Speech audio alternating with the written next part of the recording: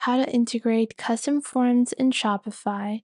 Hello everyone, welcome back. In this video, I'll be showing you guys how you can integrate custom forms into Shopify. So let's jump right in. Now, there are two ways to do this. You can either do this with a third party plugin on Shopify, or you can use a Google form to add your own custom form. So let's jump right in. Now, the first way to do this is to go into Google Forms and then click on Go to Forms. And you're just going to log in with your standard Google account, and you can click on Blank Form over here. Now I can build my own custom form. Let's say this is going to be our customer feedback form. So I'll create this and then I can add our question. So I will add, how was your online store experience with us question mark and then we can add our different options good bad and then this is not going to be on a linear scale. This is going to be from a multiple choice question. So our first option is going to be good bad all right like this. And after that we can make this a required field for our customer feedback then after that, I can go on ahead and add another section. Now I can add our second section asking about, you know, more questions. We can, you know, just add or include another question. So we can click on add question over here. And from here, we can import questions as well. If you already have a list, you can add titles, descriptions, include images, videos as well. Now, let's say my second question uh, with us. I'm going to write us. Now, after that, our second question might be, how do you want us to improve our store? Question mark. And then this is going to be a short answer or a paragraph over here. And I'll make this required as well. Now, once I've done this, so I can build my form, I can customize this by including images from my store as well. So if I want, I can click on browse and upload my product image or just any image that is going to, you know, make my form look a bit more cohesive with my overall brand aesthetic for my store. And then I can click on send on the top right. Now I want to collect email addresses and I am simply just going to click on send click on the link option or you can click on the embed HTML. Copy this HTML over here and you will see the width and size. If you want, you can actually make this larger or smaller, but I just like to go with the standard size and copy the HTML then go into Shopify and then go into online store on the left. Once you go into online store on the left, you're simply going to click on customize and then choose the page where you want to insert your custom form in. I want to insert it directly in my homepage on Shopify. So I'll click on add section on the bottom and you will see this option for custom liquid. Once you see the option for custom liquid, paste in the code from Google Forms, and your form will now be integrated. And you can choose to place it directly in any section. So you can move this up by holding it by these dots, and I can move that to the top.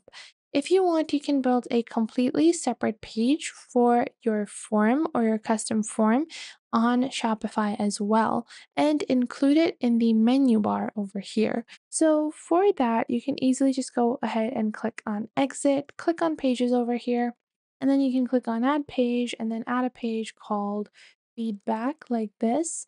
And once you go into your feedback page, you can click on show HTML or you can just click on over here where you're able to add HTML and you can paste in the HTML and then click on save. Sometimes this works properly, but sometimes Shopify does have some glitches with this. And then you can click on view page over here to see whether the HTML code is working properly but and it is displaying our form directly and we have a separate page. And to add this into our navigation menu, we can go into navigation under online store. Once you go into navigation, click on main menu, then click on add menu item and then name it feedback form. Then go into the search or paste link and then go into pages. Under pages, you will find your feedback page and then click on add. Click on save on the top right. And now if I go into my dashboard over here and I refresh my pages, I should be able to see the new menu taking effect in my Shopify store. Now, the alternative way to build custom forms directly from Shopify is to go into settings on the bottom left. Once you go into settings on the bottom left, click on apps and sales channels on the left. Then open up the Shopify App Store. Now, once you open up the Shopify App Store, you're going to search for custom forms over here. And once you search for custom forms, you will see this powerful contact form builder. Now you can use this one or you can even use Shopify Forms. There are a bunch of different free options available. Now on this particular application, you can only create one form, but it has 12 different fields that you can add, but it only has 40 uh, submissions that you can collect. So I find it to be a bit limiting for larger stores. For larger stores, you can use things such as the Qikify Contact Form Builder this is a pretty good one where you have 10 fields per form, but it is not limited to the number of submissions that you can have. So you can have a bunch of different, you know, hundreds and thousands of submissions.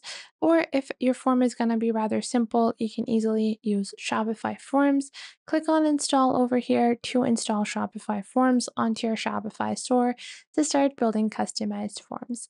Now, once this has been installed, you will find it on the left panel and you are going to allow Shopify to complete its installation and then click on create form.